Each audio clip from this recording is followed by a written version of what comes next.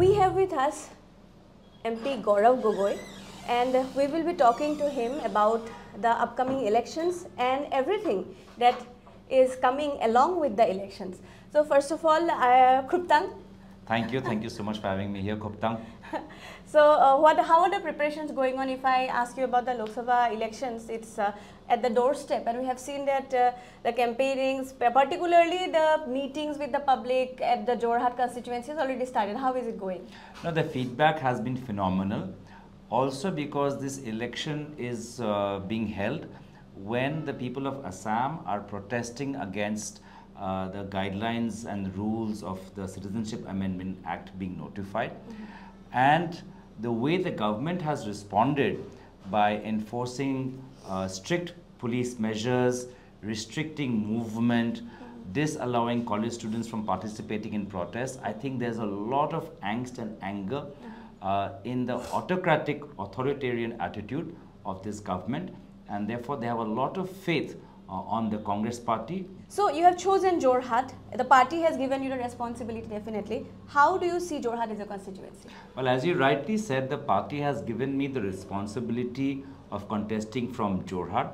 This particular Lok Sabha, the Congress party has lost the last two times in 2014 and in 19. Mm -hmm. So therefore, the way we are going to break that record. We are going to go for a historic victory. There's going to be a wave in our favor, and we can already see the beginning of that. And I'm glad that um, it's a challenge that I'm happy to take up uh, on behalf of the party, and I'm glad for the support of the people that I'm already getting at this moment. Okay. And along with that, if we uh, see about the voters, they have had your father. Definitely there is a huge trust factor that is coming along with the Tarun Gogoi's name. How is that going to benefit you as their representative to win the elections?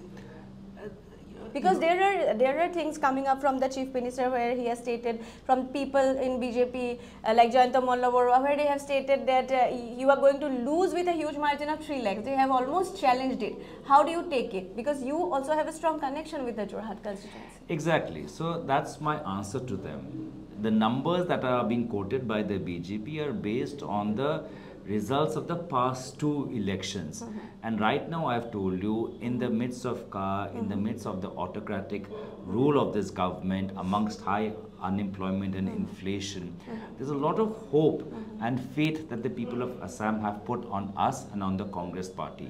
And you cannot analyze, you can't count faith. You can't, you can't uh, express the love that people have shown in terms of numbers. Mm -hmm. So they, let them be busy with the numbers and statistics of the past two elections and we continue to work to gain more affection and support uh, from the people of Assam and es essentially if I stick to the path followed by my late father, mm -hmm. I'm sure that people of Assam will support us even more in the weeks to come. Along with that, you have talked about CAA. There are other issues as well. Uh, so we have seen you speaking very uh, strongly in the assembly regarding the Manipur condition in Manipur while, while we have seen that there were a lot of, uh, it, it also went very viral on the social media regarding your speech and everybody was very happy about the stand you took.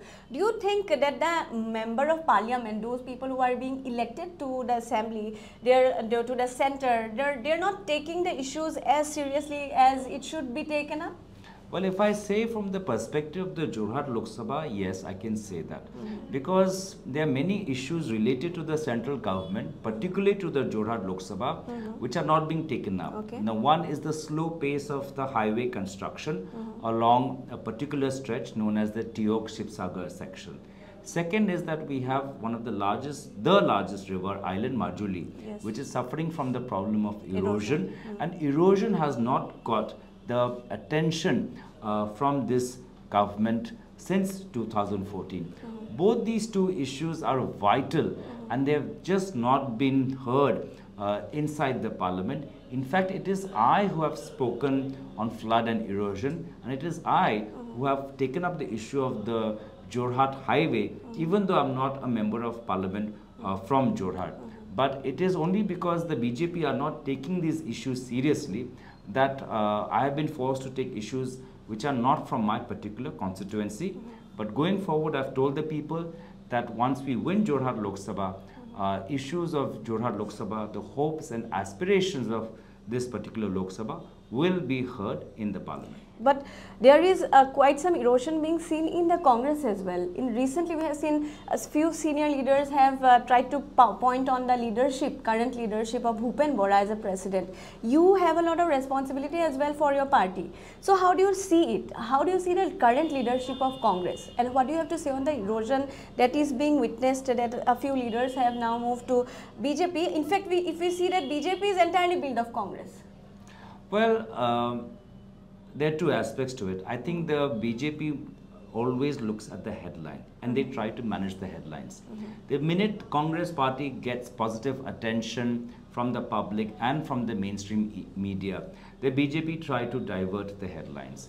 Now, immediately after Rahul Gandhi's very popular uh, Bharat Jodo Nyaya Yatra in Assam, they try to divert the headlines by poaching a few people from the Congress party. Mm -hmm.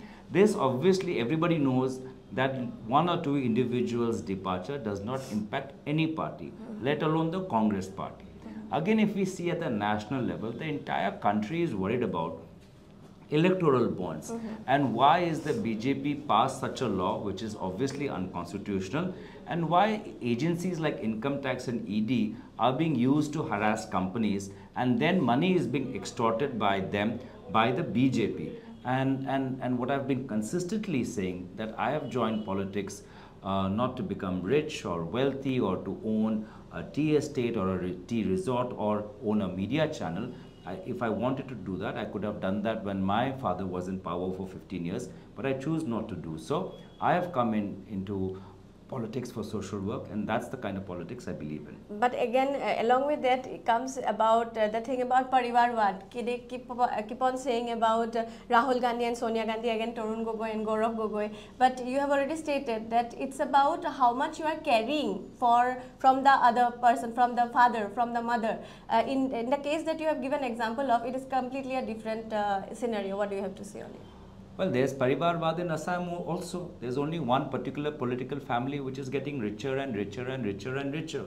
There's one particular political family in the BJP who are owning tea estates, who are owning media channels, who are owning news portals, who are owning private schools, and, and God knows what other business they will get into. And this political family is getting patronage by the Union Home Minister uh, and by the Prime Minister. So I don't know from what aspect are they talking about Parivarvad. I hope that they will clarify in the future. Thank you. Thank you so much, Rang Boy Boy.